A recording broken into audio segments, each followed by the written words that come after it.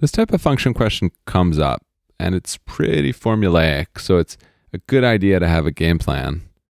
And I would almost always uh, pick numbers here. Let's call A2 and B3. You can pick whatever numbers you want, just make them easy. And what you need to do is plug in 2 and 3 separately into each one of these answer choices.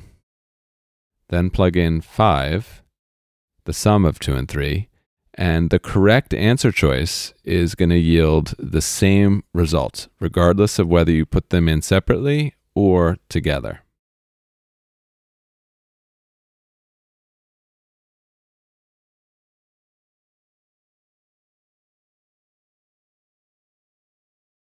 So it can't be A because 16 doesn't equal 25.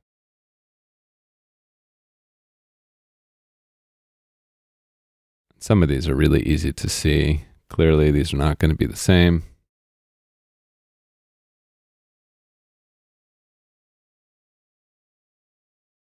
The sum of, of two roots that aren't under the same square root are definitely not the same as the sum of the numbers under the square root. That's not going to work. You can also estimate this real quick because you know that uh, root 2 is about 1.4 and root 3 is 1.7 and root 5 is much smaller than root 9 so it's definitely less than 3 whereas this side is definitely greater than 3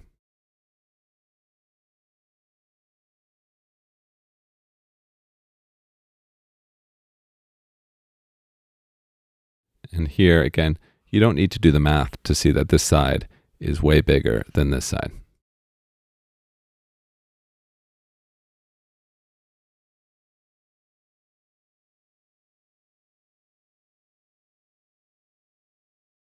One thing to keep in mind when picking numbers is that you could be left with two answer choices that satisfy the question.